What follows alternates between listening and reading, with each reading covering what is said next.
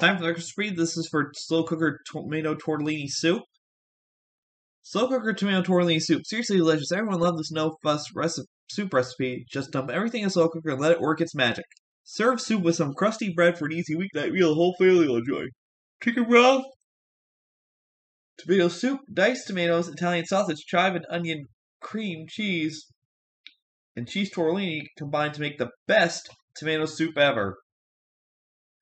For the ingredients, you need one pound of Italian bulk Italian sausage, either mild or hot, whichever you prefer.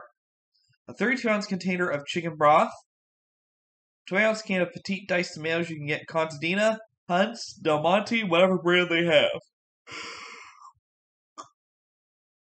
Oh, red pack and Pagliacento, I forgot about those. Two 10.75 ounce cans of tomato soup, that can be the Campbell's brand or the Progresso brand, whichever you want. 8 ounce containers of chive and onion cream cheese spread. And yes, it's got to be softened.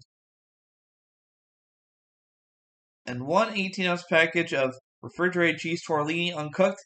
You can get the Giovanni Rana brand in your local supermarket. It's located in the deli section with the refrigerated stuff or refrigerated dairy, whichever you can wherever you can find it.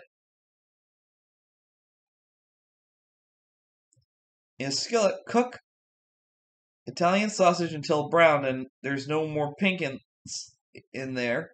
Transfer the cooked sausage into a slow cooker. Add the chicken broth, tomatoes, and tomato soup to the slow cooker. Cover and cook on low for 6 to 8 hours. Stir in the cream cheese and cheese tortellini and cover and cook on high for another 15 to 30 minutes until the tortellini is all cooked. Now, also, you can substitute vegetable broth and leave out the sausage if you want to make it vegetarian. And also, you can leave out the pasta if you want low carb or keto friendly. This one takes 10 minutes to prepare, 6 minutes to cook, and total time 6 to 10 hours and 10 minutes, and serves 8 people. Now, that is a great soup anyone can enjoy any night of the week. You just put everything in your slow cooker,